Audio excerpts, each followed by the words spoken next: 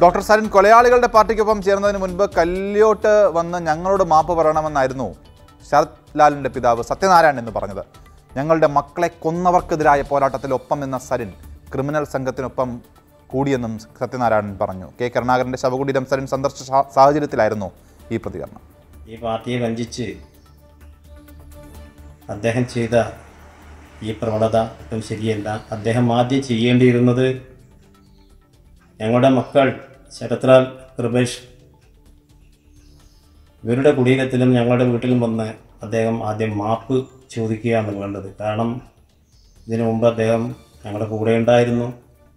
ഈ കൊലയാളി രാഷ്ട്രീയത്തിന് എതിരെ സംസാരിച്ച അദ്ദേഹം അതിന് സപ്പോർട്ട് കൂടാൻ അവരൊന്നിച്ച് കൂടുമ്പോൾ എന്ത് മെസ്സേജാണ് ജനങ്ങൾക്ക് അദ്ദേഹം കൊടുക്കുന്നുള്ളത് അപ്പോൾ ഇവരെയൊക്കെ എങ്ങനെ വിശ്വസിക്കും? ഒരു പ്രസ്ഥാനത്തിന് താല്പര്യമില്ലാത്ത ഒരു പ്രസ്ഥാനത്തിനെ വഞ്ചിച്ചും കൊണ്ട് ഒരു മറ്റു രാഷ്ട്രീയ പ്രസ്ഥാന ഒരു ക്രിമിനൽ സംഘത്തിന്റെ കൂടെ കൂടി മത്സരിക്കാൻ പോയ അദ്ദേഹത്തിന് ഏറ്റവും കൂടുതൽ താല്പര്യം സ്ഥാനമാനങ്ങൾ മാത്രമാണെന്ന് ബോധ്യപ്പെട്ടിരിക്കുന്നു.